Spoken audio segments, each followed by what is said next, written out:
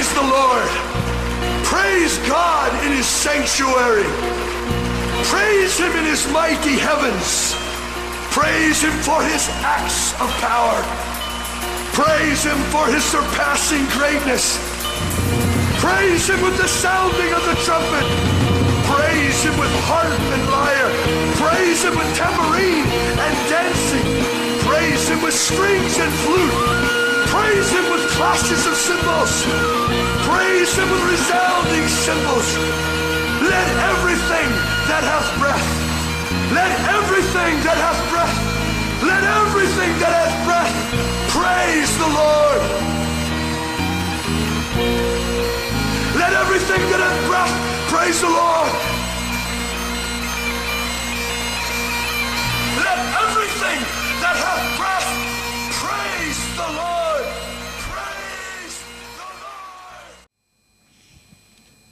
Ephesians 6, verses 10, 11, and 12.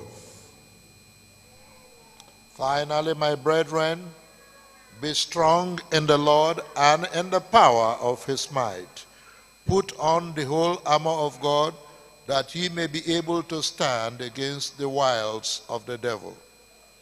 For we wrestle not against flesh and blood, but against principalities, against powers, against the rulers of darkness of this world, against spiritual wickedness in high places.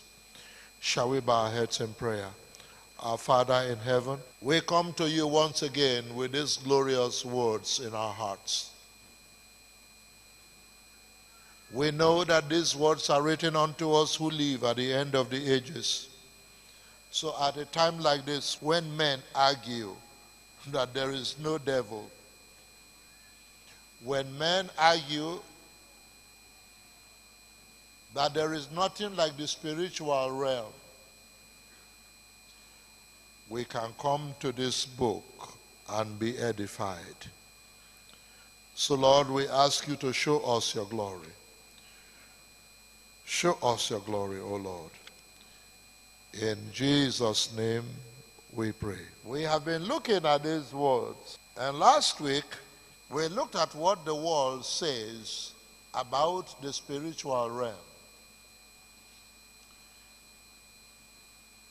This book was written to the Ephesians, the Christians in Ephesus. Ephesus is in Asia Minor. Today is in Turkey. Some of us in this church have been to Ephesus. We have been to this particular church. What I mean, the ruins of this church in Ephesus. We were at the tomb of the Apostle John, where he was buried in Ephesus. The Apostle Paul writes to these Christians so that they can be edified, so that they can be, so that they can know who they are, and so that they can fight the good fight of faith. From chapter 1 to chapter 3, this book, the apostle deals with the doctrines. He tells them who they are as Christians and how they became Christians. And he tells them the benefits of becoming Christians. All of this, he puts them in the form of a doctrine. How you became born again and who you are in Christ. Because there are some of us who do not know who we are in Christ. So the apostle, he writes these letters to, I mean, this letter, this epistle to these Christians so they can stand their ground, they can be who they are, lest they become like the slaves who are freed, but they still have the slave mentality. They are free, but when they see their masters, they still behave as slaves. So the apostle tells them who they are and how they became who they are. It is important for you to know how you became who you are today. That you are not who you are today by any work that you have done. That who you are today is brought about by the power of God. It is God Himself that has made you who you are. And because God has made you who you are, nobody, I say nobody, nothing, absolutely nothing. The Apostle Paul says, I am persuaded that nothing, that nothing can change it.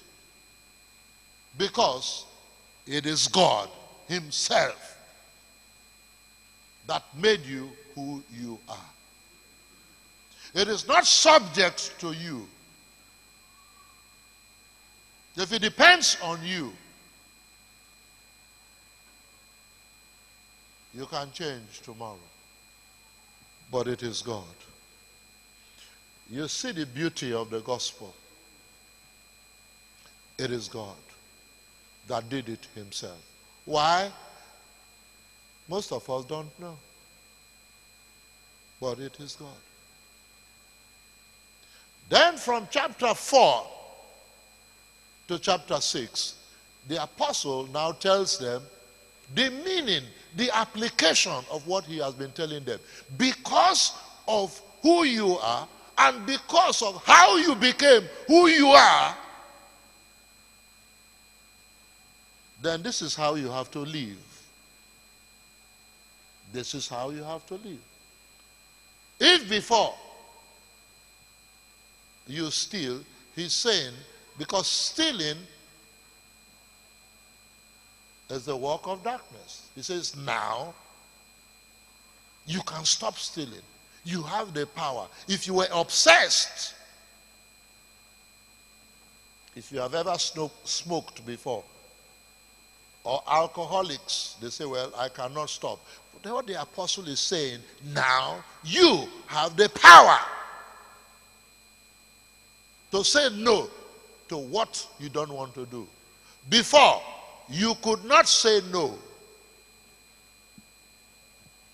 You could not say no to sin.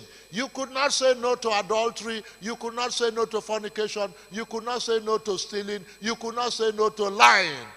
But now, you can say no to all of these things.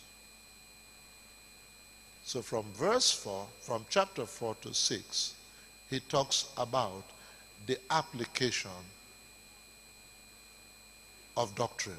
In other words, the application of who you are and how you became who you are. The application of that particular fact.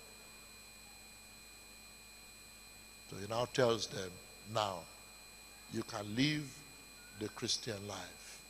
Now you are no longer under the law. Now, you can obey the law. To be under the law, it means you are still lying, you are still doing all of those things. You are a slave to the law. You are under the law. But now, you are no longer under the law, you are above the law. You know, when Christians say, Well, I'm no longer under the law, but you are still lying, you are under the law. You are under the law. That's the meaning. If you say you are no longer under the law, then you are above the law. You see, God is not under the law. So, he does not steal, he does not lie, because he's above it. I haven't told them that this is the way you now live as a Christian. This is the Christian way. Just as it were, just before graduation, he now calls them back. He say, come. That's the finally that you see. Finally. He calls them back. He said, there's something more I want to tell you. That the Christian life, you do not live it in a vacuum. It is true. This is who you are, and this is how you became who you are. And I've just told you now to apply it This is how you apply it. But I haven't done all that. Now they have graduated. Now, go out, work out your salvation with fear and trembling. Put into practice what I have just taught. Just as they were moving out of the gate, you say, Come back, come back, come back. There's something I want to tell you. You see, the Christian life, you do not live the Christian life in a vacuum. He says there are forces outside there that will not allow you to live the Christian life. And I want, to, I want you to recognize those forces. It is true about who you are, it is true about how you became who you are, but there are forces outside there that will make sure that you don't live who you are. You don't live it out who you are. In other words, as a Christian, you say, now, I don't want to steal. How many times have you made that resolution? Don't you see? There are many people on the, uh, uh, on the 31st of December, they make all these resolutions and all that. I'm not going to smoke. I'm not going to say. I'm not going to uh, uh drink. I'm not going to commit fornication again. Lord, help me this year that we are coming. I must not. I'm not going to steal. I'm not going to be involved in that. I'm not going to lie. That thing that happened. I'm not going to. And the next day, in fact, that particular night,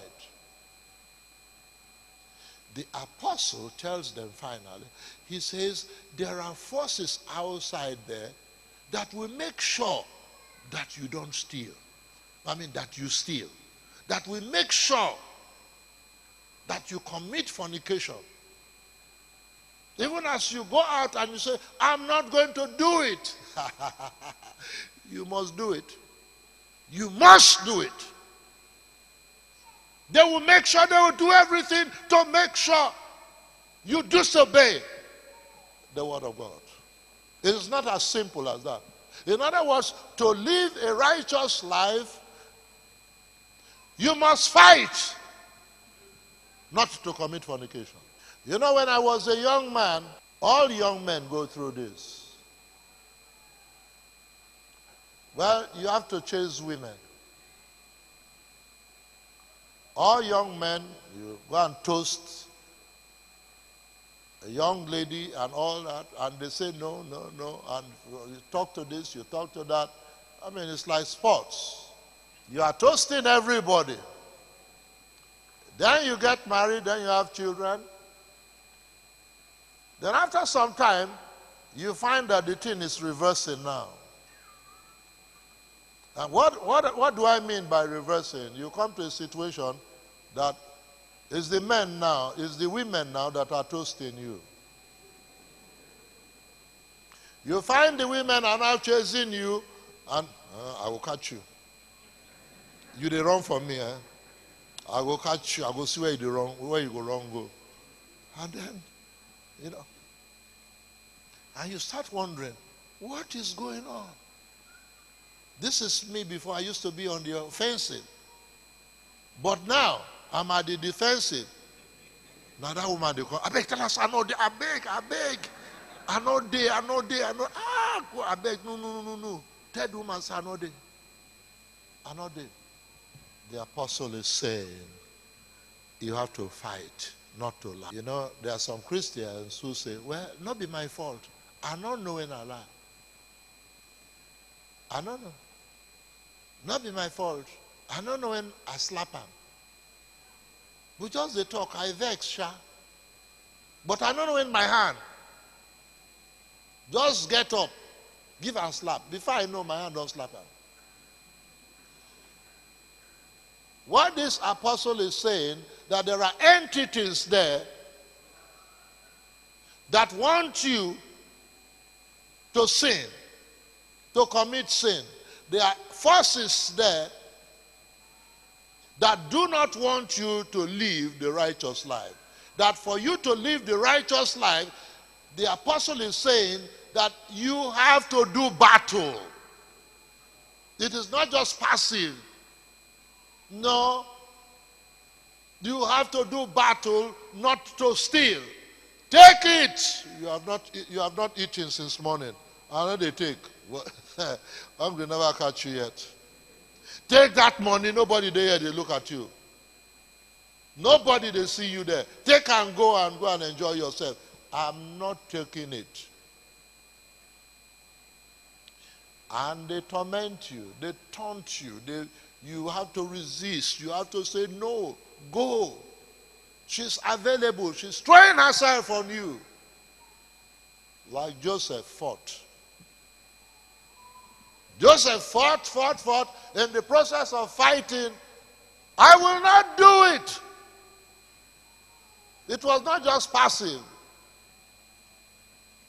I will not do it until he ended up in prison. I will not do it. Let me just say something in parenthesis. Anytime you win a battle, there's a reward. Anytime. Anytime you are in this in the process of living your Christian life and you win a battle, I'm not lying, I'm not going to lie. I'm not going to lie. Even if it means me going to the prison, even if it means losing all that money, I'm not going to lie. Anytime you win a battle like that, there's a reward. Joseph said no. That's how he started to the woman, to Potiphar's wife. And he dragged on. By the time he knew it, he was in prison. But from that prison, he became the prime minister of the greatest nation in the world. There's also there's always a reward. So this is just the summary. And last week we looked at what the world says because what I'm saying to you now, this apostles' teaching, the world goes against it. The world doesn't believe that there are forces outside there. No. I told you what the world uh, says about it, what the world believes. They don't believe that there's a, there's a spiritual realm there. And strange enough, there are some Christians who don't even believe that there, there's a spiritual realm there. They don't believe in principalities and in powers and all of those things. And, and then you start wondering a man who believes in the Holy Spirit, of course, it follows that you must believe in the unholy Spirit. A man who believes in the Holy Spirit must believe in evil spirit. But strange enough, I, I, don't, I don't get it. Strange enough, you find some Christians, they say, we believe, I believe in the Holy Spirit, but no, they don't believe in the devil. The devil does not exist. So, you see, they are not consistent. A man who is consistent, at least will believe that there's a Holy Spirit, and then you have the unholy spirits. But that's what this apostle is. That's the teaching of this apostle. That to live the Christian life, you must fight to live it. You must fight to be an upright man. It's not just passive. It's just make a lie, make a no lie. Uh, which one I will take now? Tubu tubu mercy. This morning, we are going to be, we are going to examine the ultimate cause of the present state of the world. And in particular, why we have to fight to live. Let all of us receive it. This teaching of this apostle that there are forces there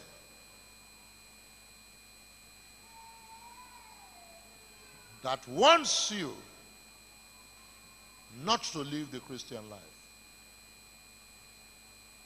Receive this fact is the teaching of the apostle because he says there, we looked at it this before, he says, he says, My brethren, finally be strong in the Lord and in the power of his might. He said, Put on the whole armor of God, that you may be able to stand against the wiles of the devil. What does wiles means? It means the trick, the manipulation of the devil. He said, For we wrestle not against flesh and blood. We saw some of these things before. He said, But against principalities, against powers, against the rulers of darkness of this world, against spiritual wickedness They'll kill you, they want to destroy you if you want to live the Christian life. Ah.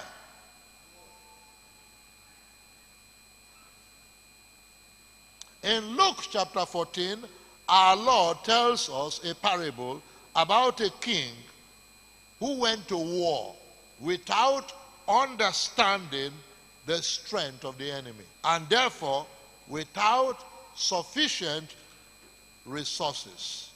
Because the king did not study his enemy to know who his enemy is, to know how many soldiers, you don't just go to war. Nations today, before they go to war, they send spies and all that to determine you must know the nature and the power of your enemy, of who you are fighting. Because this battle, there are some people, I said that last week, who say that, well, I will not be involved in this battle. They go and make some covenant with the devil. They talk to the devil, I will not attack you, I will not uh, uh, fight you, just leave me alone. I've seen Christians, my wife and I, we've been in prayer meetings where immediately you say, you take authority. I take authority over. Some people will just step, they will just step out and look somewhere else. Immediately you say you take authority over every foul spirit from Peter. No, no, no. I'm not fighting the devil. They'll tell you. But the devil is fighting you. Whether you like it or not, whether you know it or not, whether you are prepared, whether you make a covenant, the, the devil is a covenant breaker. He's a liar. He disrespects anybody. You cannot make arrangement with him. You cannot tell the devil, wait me at any junction and you find him there. The devil is irresponsible. He has no word. He does not keep a word. When you say the word, the word of God, what is the word of God? The truth. When he said the word, the word stands. Heaven and earth will pass away, but not one jot of the word. It is constant, it is stable. You can rest on it. You can take the word to the market and buy merchandise. The word of God, but the devil. So you must study your enemy. Luke 14, 31, 33. You'll find it there. The king who went to war without a parable, and he was discomfited, without knowing the strength. Unpreparedness is utter folly, according to our Lord. You must prepare. You must know the enemy. So the purpose of this teaching, the purpose of this teaching is not just because I want to preach. The, the resurrected Christ gave the fivefold ministries. And this fivefold ministry, they are a, for a purpose. They are well defined what they should do. And they are five, not six, not seven. When I hear some people say, The Lord called me to make people rich. Where is that? Where is that in the Bible? Uh, my ministry is deliverance. I, I don't know where that is in the Bible. Every child of God can do deliverance. Every child of God.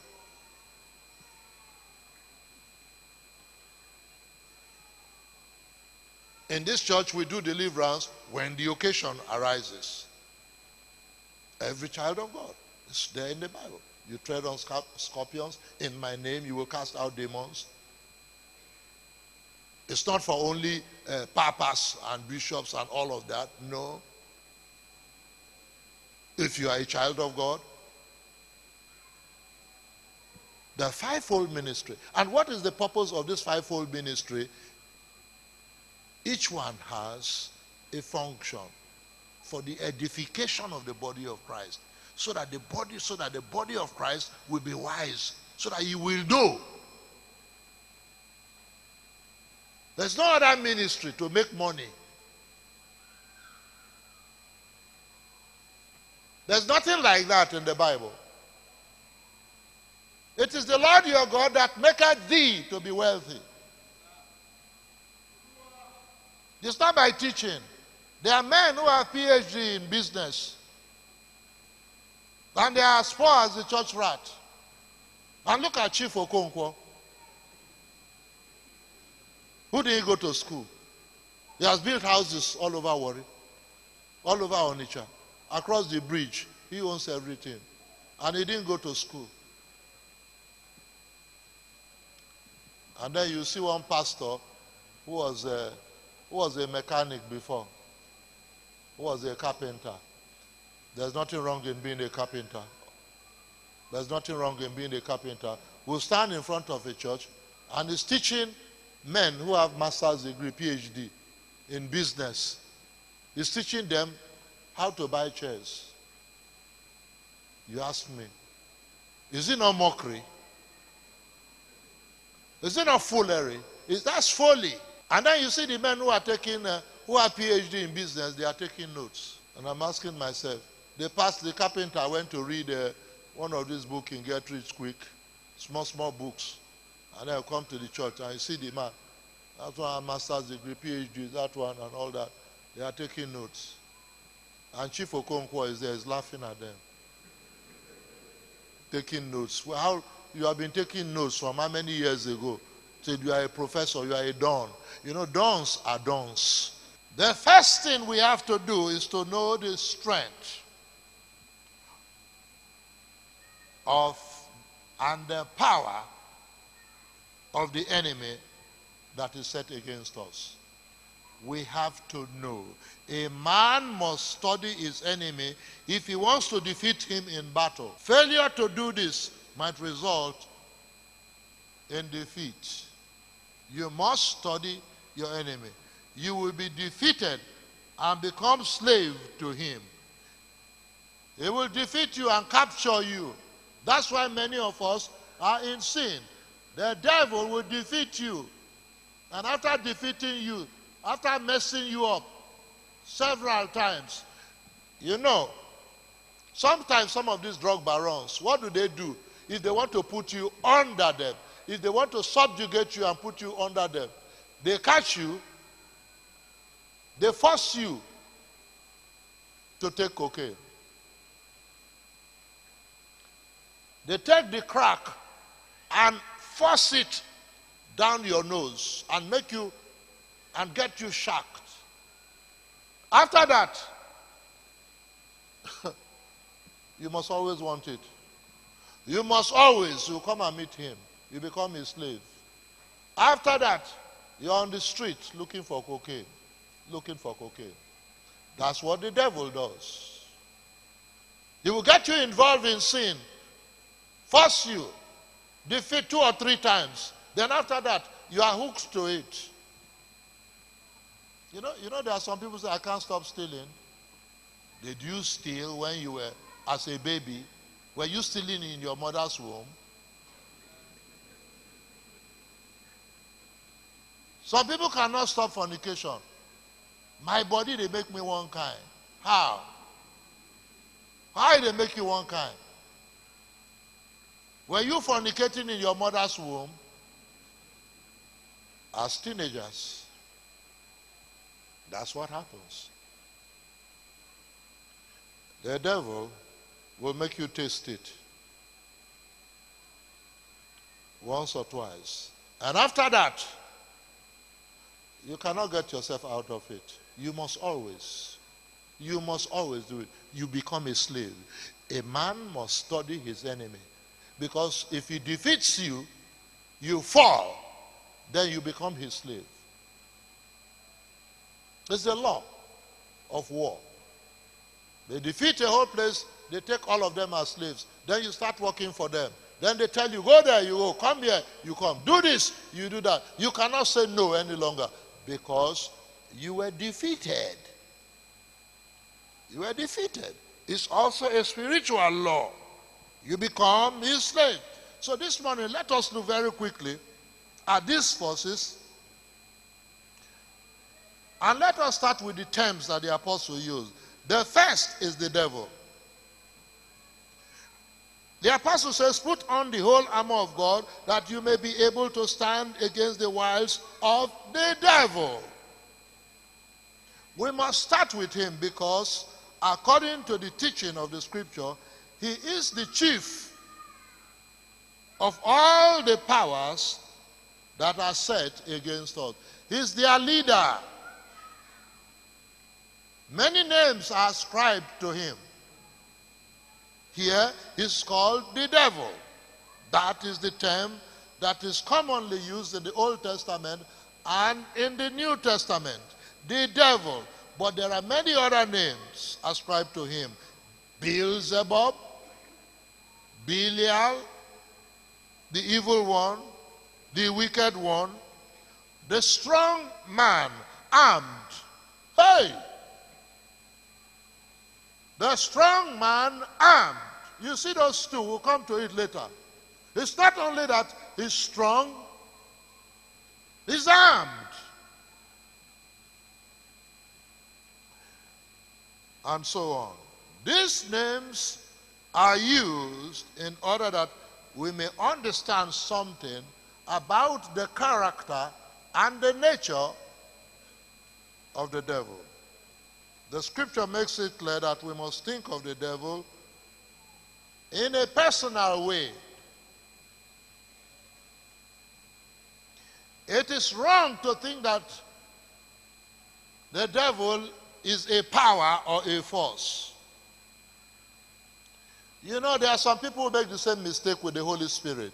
They think the Holy Spirit is a force, it's an influence.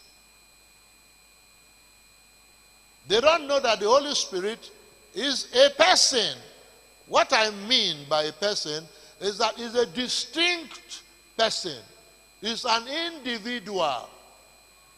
He, he's a personality. It's not just a breeze that is blowing. There are sometimes we even think that the Holy Spirit is a kind of liquid. Fill me, Holy Spirit. That is a liquid that you can pour. You pour the Holy Spirit. Sometimes because of the way that we use the terms. So, all of this leads us to that error to think that the Holy Spirit is not a person just the way you are. Distinct. You have a character. You feel you like, you love, you know what belongs to you and all that. You reason, you are logical, you are rational. That's what the Holy Spirit is. The Holy Spirit is not just a wind. The, the Bible is true, uses some symbolism to describe the Holy Spirit wind, wine, water, and so on. But he is a person. So the devil, too, is a person. Just as I said, if you believe in the Holy Spirit, if you know that the Holy Spirit is a person that knows you, just as the way you see me, ah, this is Stanley, this is my pastor, and you introduce me to, to your friend, please meet my pastor. That's the way the Holy Spirit is. It's not a thing. It's not an it. So we must start from there to realize that the devil is a person. But having said that, he's a person, but he's a superhuman personality. He's a superhuman. He's above man. You cannot fight with him. He's not interested in respecting you. On your own, that's what I mean. You cannot fight with him. So he's not interested in making a covenant with you. Not fight me, I know fight you. He's not interested in that. Because anyway, it's like a small boy coming to make a, a covenant with me. Uh, make we not fight, make we settle. Because uh, if we not settle, if we do something and go, uh, this is a small boy, five-year-old boy talking to me. That let, let, let, let, let's settle, let's make, I don't need to settle. Because if I hold, hold that to your ear and squeeze it, ah, mama, mama, mama, mama, mom, I don't need to do that. This superhuman. is bigger than man, stronger than man, greater than man. Yet, at the same time, he is not divine. He's not God. Amen, somebody. Is not God.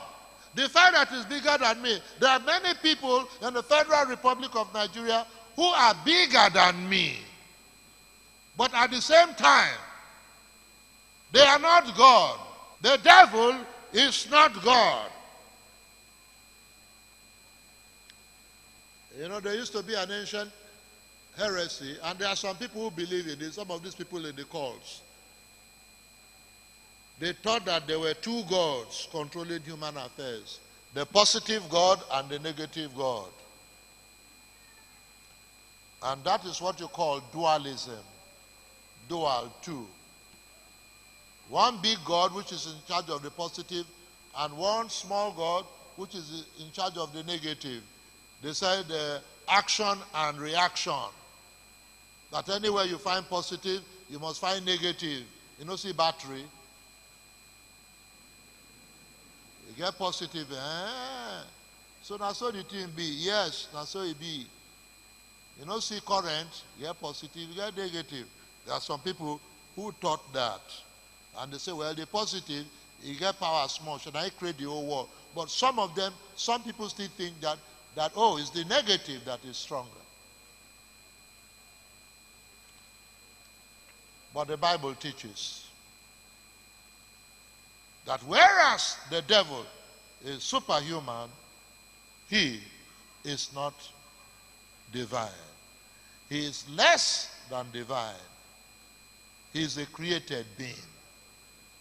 One, the Almighty God created the devil.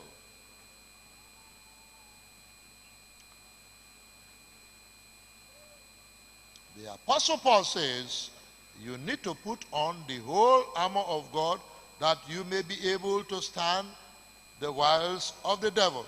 So I want us to, I want to, I want to remind ourselves that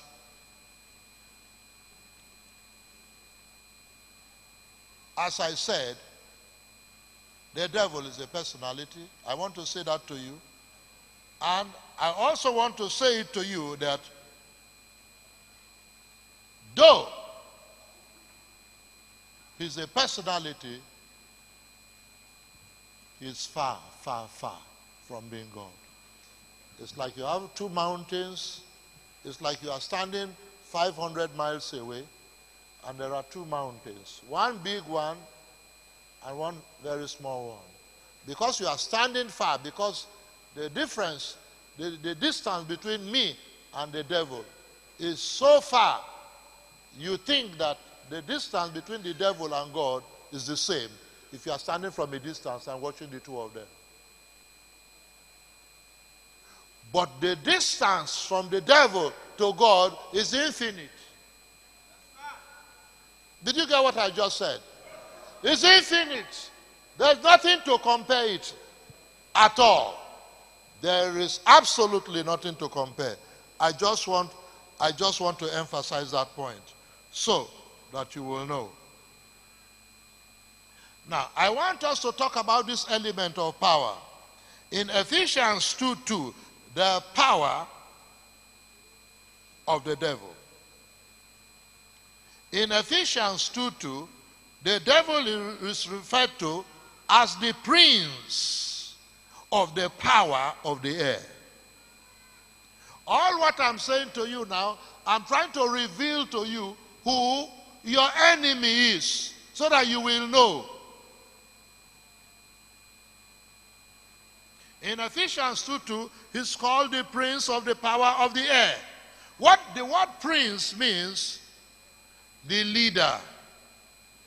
It means the leader, the chieftain. And in this Ephesians 2, it continues by saying, the spirit thou now walketh in the children of obedience of disobedience. He said, The spirit that now walketh in the children. I want you to notice those words. The spirit that now walketh in the children of disobedience. When you see the disobedience, people who disobey the word of God, people, the world system,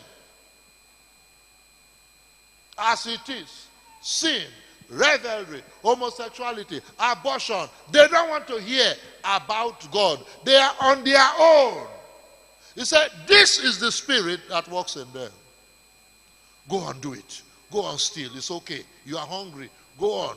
Uh, uh, you are homosexual. You are born like that. It's okay. Whatever you like, go on. You want to sleep with dead bodies in the cemetery? Oh, go on. It's okay.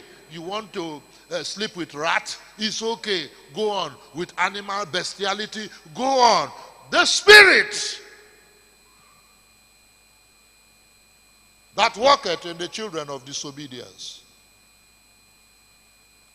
The apostle uses a similar expression concerning him in 2 Corinthians 4 4, where he talks about the God of this world. Is the same thing. The God of this world. The way you see the world behave, the way they talk, disrespect, the way they behave, and all that, and you are wondering. Hate, murder, all of these things that you see is happening in the world now. He's the leader. He's the one behind all of this. He says in this second Corinthians 4, 4 if our gospel be hid, it is hid to them that are lost, in whom the God of this world. When it says the God of this world, I'm using the, the small g of this world system. The way you see the world is now, with all the wickedness, with all the revelry, with all the abuse, and all that. He is the prince. He is behind all of this. You see, all of this gives us some impression of his might, his authority, and his power. I want you to stand aside. As a child of God, you are standing aside, just as I said, the Apostle Paul has told you who you are and how you became who you are, and he has told you how to apply this. And in the process of now you want to go into the world, you are now born again, you are now a new creature. I want to live a new life, and the apostle puts you at the door. See the world the way it is. You see that one abusing that? You see that one raping that? You see that this is that? That is him the God of this world, the Spirit that worketh, the Spirit that motivates all of these actions and the children and the children of, of disobedience. I want you to take another term used by our Lord Himself in Luke 11 21 to 22. He calls him the strong man armed. In Luke Luke 11, 21 to 22. Our Lord describes him as a strong man armed. He's comparable to a very powerful and strong man armed. He said, Who keepeth his goods in peace? He keepeth his goods in peace. In other words, when he has introduced you to a particular sin, when he has introduced you to murder, there are some people who are serial murders, serial fornicators, housewives, serial adulterers, husbands, serial adulterers. After he has introduced you to, to all of this, he keeps you in peace. He tells you, just go on living like that. I don't want to hear any problem from you. Go on committing adultery. You sleep with this woman, sleep with, just go on like that. It's a system like that. It's, it's an habit. So you have whole nations, you have whole communities, all of them, they go on like that. You see principalities in, in a particular geographical area, all the Ijos, they must do like that. They must behave like that.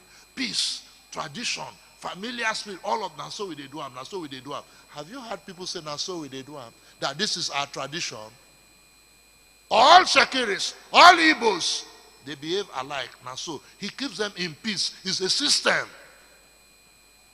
All of you continue to steal. It's all right. Just make sure you steal. If there's anybody who does not want to steal, that person will be punished. Did you hear what I just said? In the Bible, if you steal, you'll be punished. But for these children of disobedience, if you don't steal, you will see, you will be punished. Lest the demon that is in charge says, that's the day you are born again. There's one here that has uh, uh, that is rising up. There was no money. No, he, he, saw money and he refused to take it. Huh? This is the demon reporting to, to the devil. He not take her. He refused to steal. Uh, or maybe he's just a, a moral person. Okay, now, set him up. Put the money in a place where there's nobody. You know, some people like to steal, but they don't want to be caught. Maybe he's ashamed of being caught. But now, set him up, nobody, put the money there. Okay, I'll go try him, sir. I'll go try him, Oga, and then he will set you up. And he put the money there. Nothing at all. Nobody is watching. No camera. Take him. And then you say no. Ah. the trouble has started. Oh. Trouble has started. He will go and report you. There's one in our midst. I set him up, as you said. He refused. I think that he's born again. Huh? Then the fight will start with you. And this is the fight young Christians they get into when they are born again. And there, there are some people who make some kind of decision for the Lord. It's like the seed that is planted on the surface of the ground. Yes, I've heard the gospel. It's sweet me. And they get up. Yes, now I'm born again. They are not. Because whom God has planted, nobody can reap. Nobody can uproot. Yes, I'm born again. And then when they go home, they are still. Uh, he will still. No resistance. And all that. By the time you know, I beg this Christian thing, I know, I know fit, I know fit. Ah, I know fit, I know fit. Because he's a billionaire today by stealing. Now, if I know steal, I go poor. Amen. In Revelation 3 4, he's called a great red dragon. A dragon conjures a picture of might and power. Revelation 12, verses 3 to 4. You see it, where it's called a great dragon. A dragon with seven heads and ten horns and seven crowns upon his heads, and his tail drew the third part of the stars of heaven and did cast them to the earth. You see, it conjures power. And in Revelations 21, we find the dragon referred to as that old serpent, which is the devil and Satan. These descriptions, they convey ideas, not only of subtlety, but of strength and of great power. Indeed, it is clear from the Bible that the power of the devil is second only to that of God. Having glanced at the power of the devil, let us go on to consider what he does, thus in few words. What is his purpose? Now, what is the purpose of the devil. You see, the very words that are used to designate him and to describe him, they answer the question. They answer the question of what his purpose is. You can know his purpose by these very words that are used to describe him. The meaning of the word devil. What does the word devil means? The meaning of the word devil is a traducer to traduce means to speak maliciously and falsely, to slander, to defame. What does that mean to speak? To speak wickedly.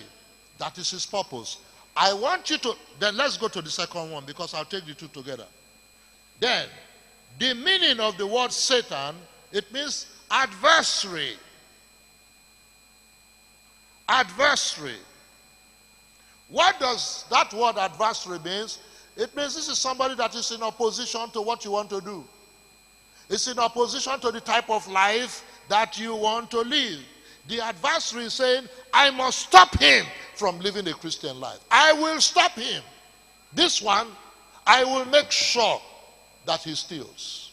This is your adversary. Because you are coming out now, the apostle has told you who you are and what you are. And he said, Because of what you are, you are filled with the Holy Spirit. Your body is the temple of God.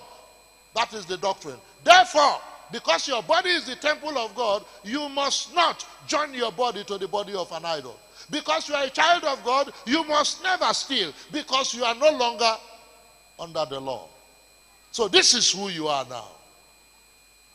But this Satan, he comes and he says, You must steal. You must steal. This is you now, coming out as a child of God. I'm not going to steal as from today. Sin will no longer dwell in my mortal body. I will destroy sin. I will mortify the works of the devil in my flesh. I will destroy it. And then the devil say, destroy who? Destroy who you want destroy. Who you want destroy? I'll be your mate. Praise the name of the Lord. Devil, as I said, means to, to defame. It means to speak maliciously.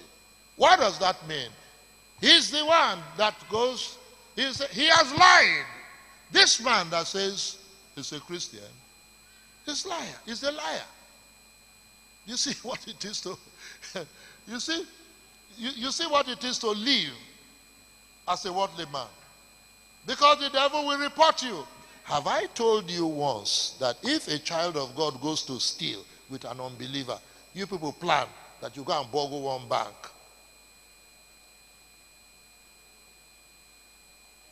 While you have taken the money and you are running away with it, the unbeliever, the devil will make sure that the unbeliever gets home. But you, as a child of God, now be that. Where you are hiding in that gutter, eh, he will go and bring the police. See, I'm not so. so. He will defame you. Pastor sleep with church woman. The whole, the whole Nigeria go scatter. Pastor. Eh? Whereas, president sleep with a, a country woman. the president of Nigeria sleeps with a Nigerian woman. Uh-huh. Who you want to make you sleep with before? Who you want to make you sleep with? Huh? The day pastor will sleep with your own church woman. Hey, hey, traducer devil. He will come. Hey! Top news, breaking news. Everybody. Hey, which pastor be that? Now this pastor, oh. pastor for mother house.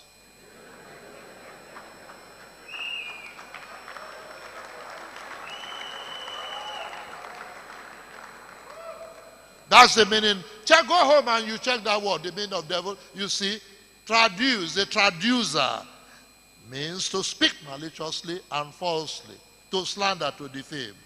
Amen.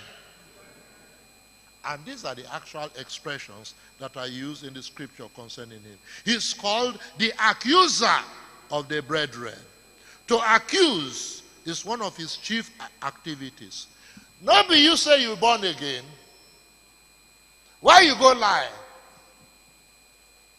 Not be you talk so. Are you not born again? Why did you go and commit adultery? Why did you go and steal? Why are you using the system of my people? Why are you on my side now? You live in GRA and you are coming to uh, uh, uh which place? Iyara to come and buy a car. Why don't you go to ShopRite in your area? Why are you coming to my area? Why are you using the way of life of my people? Accuser. Quickly. And then you'll be shocked. You lie. Others will lie. That does not mean that is normal. Others mean unbelievers will lie. That is normal. What do you want to make unbeliever do before? Make he tell the truth. If he's telling the truth, it means he's, uh, he's like uh, an ERA boy trying to, trying to do Ajay. Praise the name of the Lord. So, the ERA boy will speak like an ERA boy. Are there ERA brethren here? Praise the name of the Lord. Hallelujah. So, he will accuse you straight. That is the meaning of the accuser of the brethren. Because you have now stepped out based on the teaching of the apostle. You have now stepped out. You want to live as he has told you now. The child of God does not lie. You want to live, and the devil is for make us young. He will be following you. He's following you. Especially the demon, that demon of lying. He's following you. Then the day you just uh, mopo catch you, are you the one? Wallahi. Wallahi. Ask all of them here. I've, in fact, this is my first time of being to Warri. Whereas, I, I, in fact, I don't live in Warri at all. You see, the moment you do that, huh, he's accusing you. He's accusing you. And who is he accusing you to? Of course, accusing you to the Lord, accusing you to the authorities and all that, accusing you to, to everybody. He's telling everyone, look at this man, he's, he's lying. He's a liar. And then the Holy Spirit is grieved. The child of God is grieved. He's going on to, to cry because he has been accused of lying. The accuser of the brethren. Why? So that you cannot live the Christian life. You see how this is connected to sanctification? You see that to be sanctified, to live a life of sanctification. What I mean by sanctification, you have been born again, filled with the Holy Spirit. Now you have to live as a Christian to be conformed to the image of Christ. I want to be like Jesus. For you to be like Jesus, you go fight. And one of the guys that you have to fight is this man that's, that is called the accuser of the brethren. The apostle wants you to know that's how he behaves. He will defame you, he will give you a bad name, he will torment you, and all that. He will watch you if you use their system. Amen.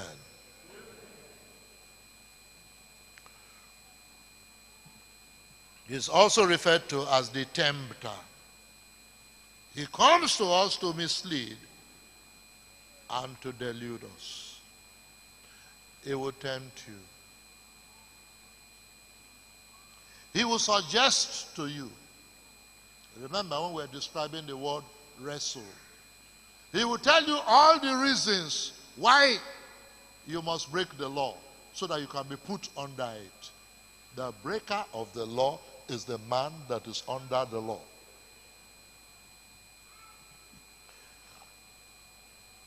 And this is the summary of what he's doing. You find it in Revelation 12 17. And the dragon was wroth with the woman and went to make war with the remnant of her seed. And then in Revelation 13 7, we read that the devil makes war against the saints. Now, is this not important for you to know all of these things? You see, is this not important? That's why these epistles are written. That's why. That's why we study the book of Romans. That's why this Ephesians, if we had time, we studied Ephesians. But you see, I didn't, I just took this last part, which is uh, chapter 6 to the end. I took it because we are studying the book of Romans, and in the book of Romans, some most of these things that the apostle talks about in Ephesians 1 to 3, which is the doctrine, he also spoke about these things in the book of Romans for you to know. You see, there's no place here on me coming here this morning and asking you and teaching you on how to make money. How to make money, how to sew cloth, how to sew this, how to do that. Is that my duty? Did you think in the days of the apostle that there was no fashion, that there were, there were no banks, that there was no economy? You see, why the world is going its own way, God is having a certain agenda. Amen, somebody. God, the people of God are going that narrow way. That's that's that's why he calls it the narrow way.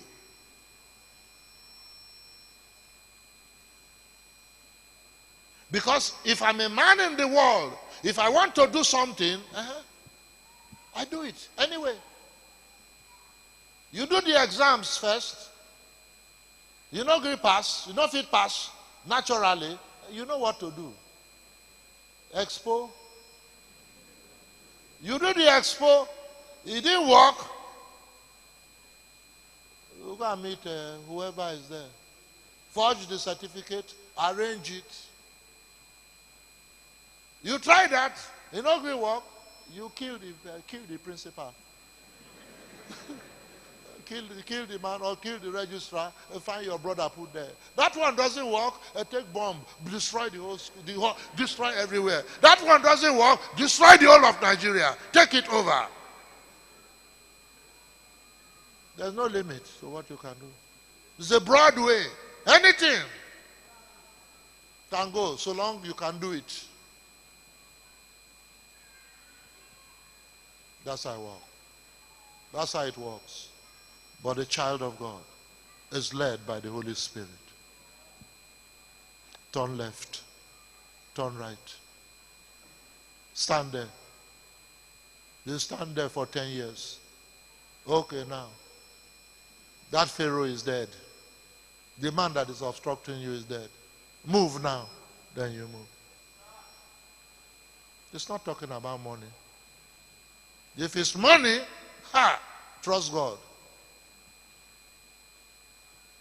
There are some of you here now, the way I'm looking at some of you here. If I divide 20, 20 million to everybody now, everybody 20 million, 20 million, 20 million. And I say, come back in three months. Half of the church will be in Obodo. Half of the church through Libya, some will die.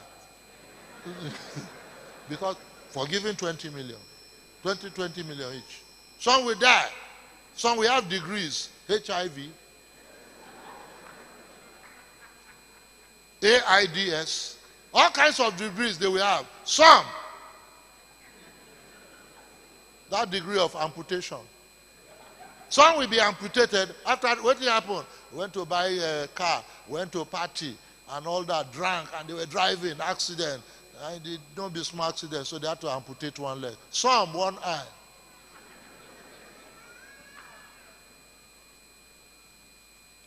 Is, is money the solution of the Christian life? No. What the apostle is saying is that we wrestle not against flesh and blood. He said, but against principalities, against powers. He said, these are the guys that you must recognize. Amen, somebody. If not, it is a question. A man can be happy with small money. Maybe there are some ladies here. You get married to a prince that has a big palace and they put you there. Two weeks. The first day you come, oh, this palace is fine. Swimming pool, all kinds of things, or everything you find there, big, sprawling, how many acres of land that is there. First one month. After that, it will become boring. Many women know that. All that opulence, wealth, it will become nothing. You are not seeing the man that you married, but you are living in a palace. Many women will say, No, I don't want this. I know as I'm talking now, there are some women here and I will say, Tali, try me, I go one time. Tali, what I want take man do? Palace like that. Hey, Tali, if I did there, I don't go want see anything. Just leave me there. Make the man just go. Forget me there. I go happy. No. You, what you are talking now is, is the mentality of a poor woman. Amen, somebody. Because there's something. Amen, somebody. We are people of God. Amen, somebody. If it's just about money, then Jesus would not have come. If it's about money, if all of these things is just for us, now I'm born again, so I can make money. If that is the reason, Jesus would not have come. The Lord would have just said, All of you here become millionaires. And you become millionaire overnight. Amen. But the reason why Jesus came, First John 3 8. The Lord Himself, the Son of God, was manifested to destroy the works of who? Of the devil. That's why Jesus came. To destroy the works of the devil. What I'm preaching now is to help you to mortify. What does the word mortify means? Is to destroy, to kill, to annihilate, to scatter, to make null and void the works of the devil. The child of God is a man that must defeat the devil. You have the power already. The power of the Holy Spirit dwells in you to do this. And so, the word of God says now, child of God, born again, you know who you are and how you became who you are. You know the power that worketh in you. Now, work out your salvation with fear and trembling, for the power of God worketh in you, both to will and to do of whose pleasure? God's pleasure, not the devil's pleasure. Not what the devil will tell you to do, not what the devil will manipulate you to do, not what the devil will force you to do until you become his slave. The child of God can never be a slave to the devil. The child of God is a man that will stand filled with the Holy Ghost and tell the devil, I am not going to do this. Get behind me, Satan. Amen. Shall we rise in the presence of God and give glory to him?